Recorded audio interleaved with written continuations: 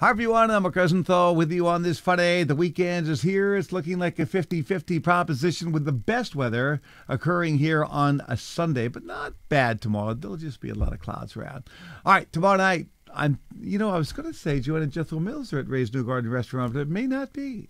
They may be sneaking away. It could be Jim and Koki Golden. So it's TBA, as they say. All right, versus TMI. Weather headline talks about the fact that it's Friday the 13th. Let's just get over it, folks. It's a full moon today. Wow.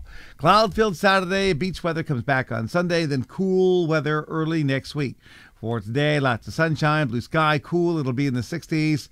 Overnight, partly cloudy. It'll be near 50. Here's your five day forecast. Starting with tomorrow, a lot of clouds, maybe a late shower in the 70s. Sunday, sun, few clouds, warm near 80. Showers late at night.